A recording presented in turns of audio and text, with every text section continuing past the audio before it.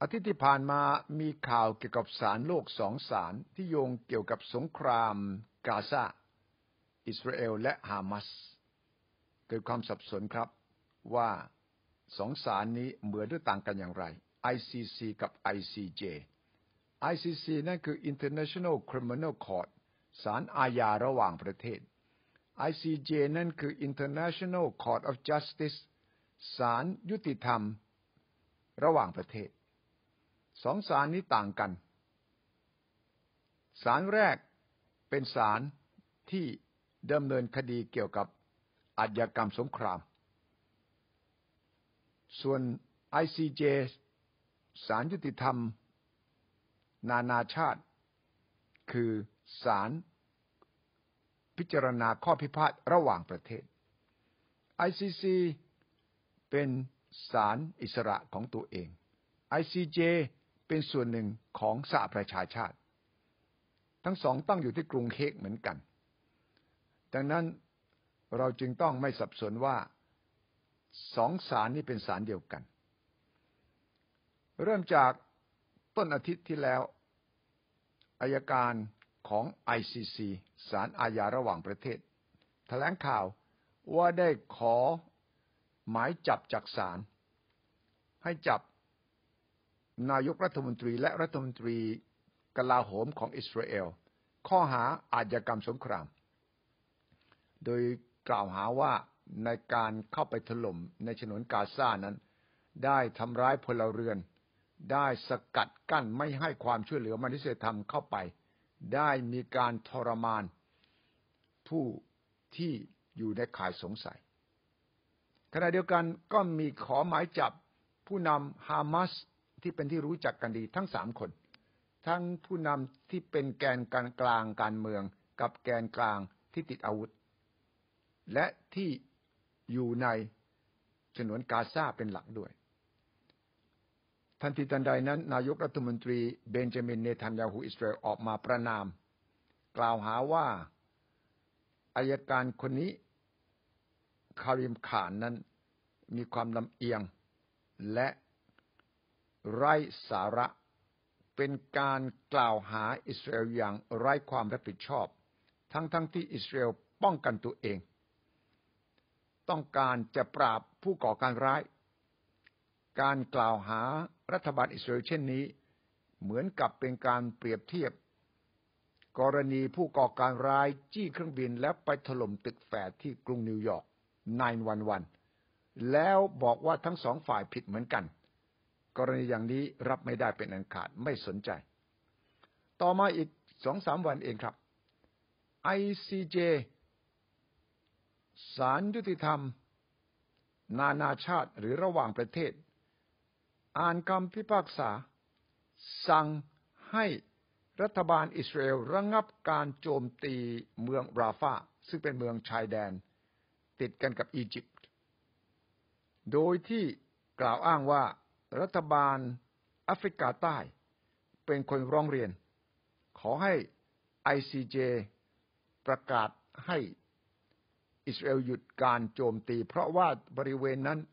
มีพลเมืองที่เป็นพลเรือนของปาเลสไตน์อยู่จำนวนเกือบล้านคน โดยที่กล่าวหาว่าถ้าหากโจมตีอย่างที่เป็นแผนของกองทัพอิสราเอลแล้วก็ จะสร้างความเสียหายต่อชีวิตและทรัพย์สิน ชาวปาเลสไตน์ที่เป็นพลเรือนอย่างยิ่งศาลในซีเจพิจารณาแล้วก็มีมติสั่งให้อิสราเอลยุติแผนปฏิบัติการนั้น แต่เนทันยาฮูก็ออกมา บอกว่าข้อกล่าวหาจากแอฟริกาใต้ที่ส่งไป ICJ นั้นก็ไร้สาระเช่นกัน เป็นข้อมูลบิดเบือน เพราะว่ากองทัพอิสราเอลไม่ได้มีเจตนาที่จะทำให้พลเรือนต้องเสี่ยงภัยแต่ประการใด นั่นแหละครับ มันก็ต้องพิสูจน์กัน แต่ว่าพอศาลตัดสินเช่นนี้แล้ว แน่นอนว่าศาลนี้ไม่มีกองกำลังของตัวเอง ที่จะไประงับยับยั้งการสู้รบได้ เพียงแต่ว่าเมื่อ ICJ คือองค์กรของสหประชาชาติ สมาชิกทั้งหมด 193 ก็ต้องถือว่าต้องฟัง แต่ถ้าหากอิสราเอลไม่ฟังแล้วก็นั่นก็จะเป็นอีกเรื่องหนึ่งศาลไอซีเจมีคณะตุลาการถึง 15 คนนะครับ มาจากหลายๆ ประเทศ เลือกโดยสมัชชาใหญ่ของ UN และคณะมนตรีความมั่นคงอยู่ 9 ปีเลยครับ ICJ นี่ขณะเดียวกันเนี่ย ICC เป็นองค์กรอิสระของตัวเอง เช่นเดียวกันครับ ถึงแม้จะมีการออกหมายจับ ถึงใครก็ตามแต่ ถ้าหากประเทศไม่ได้เป็นสมาชิก ต้องเป็นภาคีด้วยนะครับ ถึงจะมีอำนาจในการ หรือความรับผิดชอบต้องส่งตัวผู้ที่โดนหมายจับของ ICC จึงกรณีเมื่อหลายปีก่อนประธานาธิบดีปูตินก็ถูก ICC นี่แหละครับ ออกหมาย แต่ก็ไม่เกิดผลอะไร เพราะว่าประเทศที่ปูตินไปเยือนนั้นก็ไม่จำเป็นจะต้องฟัง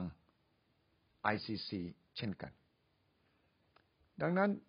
จึงน่าสงสัยว่าทั้งหมดนี้มีประโยชน์อะไรหรือไม่ แต่ว่าสำหรับคนที่เชื่อว่านานาชาตินั้นจะต้องมีองค์กร ที่จะต้องดูแลปกป้องสิทธิมนุษยชน ความยุติธรรม ความเป็นธรรมป้องกันไม่ให้ประเทศใดประเทศหนึ่งก่อนอาญากรรมสงคราม ก็ถือว่าจำเป็น ICC นั้นเกิดตามธรรมนูญโรม ที่เรียกว่าโรมสเตตูเป็นสนธิสัญญานานาชาติที่รับรองโดย สหประชาชาติเมื่อปี 1998 โดยมีภารกิจสำคัญคือการสอบสวนอาญากรรมที่รุนแรง ที่เกี่ยวข้องกับประชาคมโลก มีความสัมพันธ์อยู่กับ UN ครับ แต่ว่าไม่ได้ขึ้นอยู่กับ UN ก็มีลักษณะเป็นองค์กรอิสระของตนเองดังนั้นทั้ง ICC และ ICJ เหมือนกันอย่างหนึ่งคือ เป็นยักษ์ไร้อาวุธ แต่มีส่วนที่จะกระตุ้นเตือนเกี่ยวกับเรื่องสำนึก และอย่างน้อยที่สุดมีองค์กรที่รับรู้ข้อกล่าวหาเกี่ยวกับอายกรรมสงคราม ซึ่งในทางปฏิบัติได้ผลมากน้อยแค่ไหน ก็อยู่ที่มีความร่วมมือจริงจังจากประเทศสมาชิก และประเทศที่เป็นภาคีมากน้อยแค่ไหนด้วย ดังนั้น